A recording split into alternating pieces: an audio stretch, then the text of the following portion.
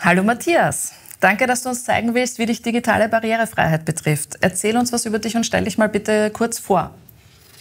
Dankeschön, gerne. Äh, ich bin der Matthias, bin 34, studiere Slavistik, äh, den Master Bosnisch-Kroatisch-Serbisch an der Uni Wien und auch interdisziplinäre Osteuropa-Studien, den Master. Und ja, bin von Geburt an vollblind, seit dem 19. Lebensjahr zunehmend schwerhörig, weil meine Innenohren degenerieren. Und ja, freue mich, heute hier sein zu dürfen. Dankeschön. Ähm, erzählst du uns, wie du normalerweise am Computer arbeitest? Wie funktioniert das? Ja, äh, ich habe einen Screenreader, äh, beziehungsweise zwei eigentlich. Hauptsächlich nutze ich JAWS. Der liest einfach den Bildschirm vor quasi.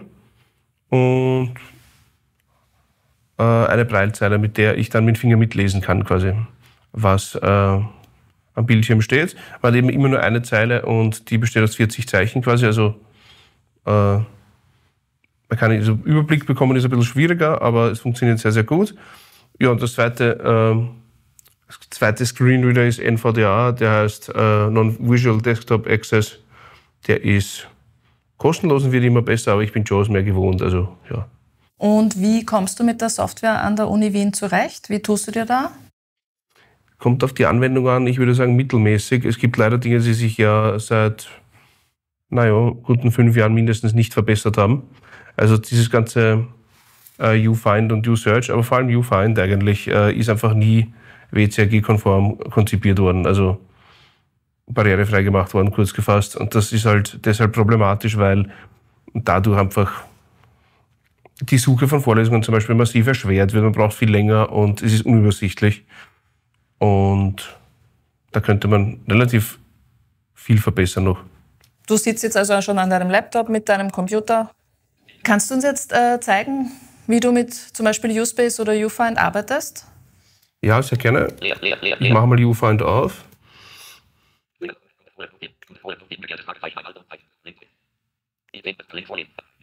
Genau, jetzt öffne ich mal das Vorlesungsverzeichnis.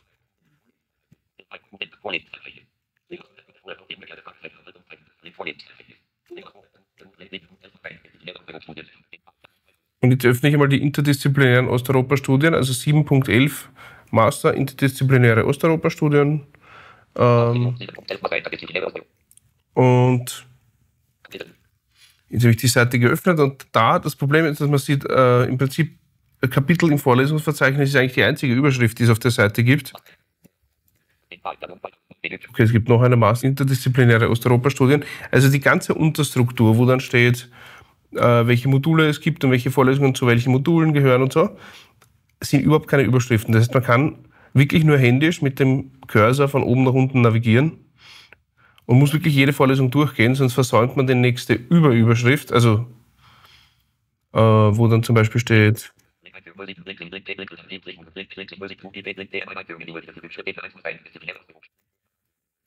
PM1, also Pflichtmodul 1, Pflichtmodul 2 und so weiter, sind einfach nicht als Überschriften definiert. Und du hast tatsächlich jetzt was verstanden in diesem langen Wortschwall, der da jetzt gekommen ist, obwohl das so wahnsinnig schnell ist. Ein Teil und ein Teil habe ich jetzt auf der Breilzeile nachgelesen. Ah, okay. Also ich arbeite immer kombiniert mit, dem, mit der Sprachausgabe. Mhm. Wir sind alle mit dieser Sprachausgabe ausgewachsen. Das heißt, wir kennen die in- und auswendig und ja, der Rest steht auf der Breilzeile. Okay. Das heißt, die Details liest du dann auf der Breilzeile nach? Manchmal. Jetzt, jetzt ist es mir, ich arbeite meistens mit Kopfhörer, eben weil ich schon schlecht höre und da verstehe ich es natürlich besser. Mhm. Also wenn ich was genauer lesen will oder mir besser merken will, vor allem auch, dann lese ich gerne auf der Breilzeile nach. Oh, okay. Gibt es noch was anderes, was du herzeigen möchtest, was Leute oft fragen, was äh, ja, erwähnenswert ist? Ja, was gut funktioniert oder wesentlich besser funktioniert, das hat jetzt leider auch ein bisschen abgebaut, aber war schon sozusagen immer noch recht gut, ist Moodle generell. Die elektronische Lernplattform, die ist sehr, sehr cool. Mhm. Äh, wo man dann einfach auch die Inhalte hochladen kann als, als Lehrender und so. Du könntest mal die Breilzeile erklären und ähm, liest du immer mit der linken Hand oder auch mit der rechten und wie haut das hin? Kannst du immer schon Breil, also hast du von Anfang an Breil gelernt? Ja, also äh, Breil habe ich in der Volksschule gelernt. Also im Prinzip in der, im Bundesblindeninstitut lernt man Breil eigentlich wirklich von der, ja, so wie ein Sehender halt Schwarzdruck, lernt man als blinder Breil immer schon äh, quasi seit der Volksschule. Beziehungsweise habe ich sogar schon ein bisschen davor gekannt äh, weil ich so ein Steckbrett gehabt habe, wo man Braille lernen kann. Braille besteht eben aus sechs bzw. acht Punkten, am Computer aus acht Punkten. ähm, die so angeordnet sind. Also links oben ist der erste Punkt, darunter der zweite und der unterste ist der dritte. Das heißt in Spalten quasi, das ist 1, 2, 3. Und 4 ist dann der erste Punkt rechts oben, 5 der zweite und 6 der dritte rechts unten dann quasi. Und 7 und 8, da sie später dazugekommen sind, sind einfach, äh, werden dann 7 und 8 sind die letzten beiden Punkte unten, werden sie so bezeichnet. Punkt 7 am Computer ist die Intergroßschreibung, also man hat dann ah. äh, ein Großbuchstabe an den Punkt 7 noch dazu. Da ist jetzt natürlich die Frage, und was ist mit Punkt 8? Punkt 8, äh, einerseits hüpft der, der, Cursor, besteht aus Punkt 7 und 8, da hüpft der Cursor, wenn er blinkt. Mhm. Man weiß immer, wo der Cursor ist.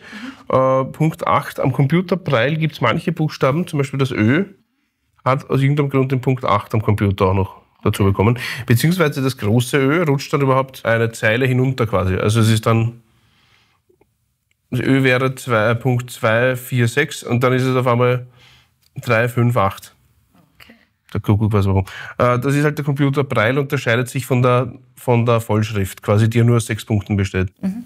Ähm, schreiben tust du mit der Tastatur am Laptop? Ja, genau. Okay. Mit der normalen Zehnfinger-Tastatur. Mhm. Man kann auch mit der Braillezeile schreiben, tatsächlich mit dieser. Mhm. Also Braille schreiben, mache ich aber selten. Okay. Ist wahrscheinlich weniger effizient, weil man mehrere Finger für einen Buchstaben braucht. Ähm, wenn man es gut kann, würde ich sagen, es kommt, ja, in Summe wahrscheinlich, aber es ist vor allem auch gar nicht so einfach möglich. Äh, die Braillezeile hat eine eigene kleine Tastatur, aber die ähm, direkt am Computer übertragen, die Braillepunkte, weiß ich gar nicht, ob das die Zeile kann. Ah, okay. Das ist eher dient. Ja. Mhm. Okay. Und du liest mit beiden Händen Genau, ja. Ich lese, also der linke Finger, also linke Zeigefinger, den benutze ich vor allem, um die Zeile zu halten, wie in einem Buch, wenn man so ein Buch liest. Und mit dem rechten liest man. Auf der Breitzeile ist es ja so, man hat ja nur eine Zeile. Mhm. Das heißt, ich lese einfach mit beiden äh, Zeigefingern immer irgendwie. Mhm. Und wenn es schnell gehen muss, mit dem linken natürlich, weil das fängt ja links an, die Zeile quasi. Und bis zum Ende der Zeile lese ich aber mit dem rechten Zeigefinger. Das macht aber jeder anders. Alles klar. Und das heißt, die Zeile wird immer als ein Ganzer aktualisiert oder wird das nach und nach aktualisiert, was da steht? Nein, immer die ganze Zeile. Also wenn ich jetzt einen, ähm, ja. einen ähm, einmal mit der Pfeiltaste runtergehe, zum Beispiel Inhaltregion Ende, das ist halt nur so eine Information von der Seite. Da steht zum Beispiel Link Universität Wien. Mhm. Äh, und es wird immer die ganze Zeit auf einmal aktualisiert. Also das ist jetzt nicht so, dass sich da noch langsamer aufbaut oder so. Mhm Punkt 7 und 8 hier im Übrigen dient zur Unterstreichung eines Links, es ein Link ist, und Punkt 7 und 8 dient zur Markierung. Oh. Da steht Universität Wien und Universität Wien ist unterstrichen. Ja. Gibt es noch andere Webseiten, wo viele Fehler auftreten oder viele Probleme auftreten, wenn du die, die Webseiten äh, durchliest? Gibt es da bei Formularen und Bildern zum Beispiel viele Probleme? Ähm, Formularen, Bildern, Formularen, ja, aber auch vor allem bei Einstellungen, also einfache Checkboxes, die mit irgendeinem komischen Ding überlagert werden, sodass man es gar nicht nutzen kann. Also es wäre eigentlich ein, ein Kontrollfeld und ist aber, man erkennt nicht, ob es aktiviert oder deaktiviert ist, das gibt es aller Orten. Und da gibt es einige solche Beispiele, wo man einfach äh, aufgrund der Webseite scheitert quasi. Das heißt, da wird visuell was vermittelt, was aber für dich als Information nicht zur Verfügung steht. Genau. Mhm. Obwohl das ein Checkbox ist, ein normales Kontrollfeld, 0 und 1. Ich verstehe nicht, wie man ja, das so falsch machen kann, aber die haben es geschafft. Und das gibt es an vielen Orten. Es gibt viele, viele Webseiten, die äh, eben nicht barrierefrei sind, aber leider gerade die Uni Wien hat sehr, sehr viele davon. Möchtest du uns auch irgendwas erzählen, was dich am meisten stört oder behindert beim Studieren? Ja, es ist eben einerseits ähm, solche Dinge wie U-Space, also U-Space weniger, wobei der Prüfungspass zum Beispiel ist schlecht bedienbar, aber U-Find, vor allem das Vorlesungssuchen, dauert wirklich unnötig lang. Könnte man wirklich vereinfachen, wenn man klare äh, Überschriftenstrukturen hätte und das einfach schön formatieren würde. Ähm, zweite Schwierigkeit ist natürlich die Literaturaufbereitung.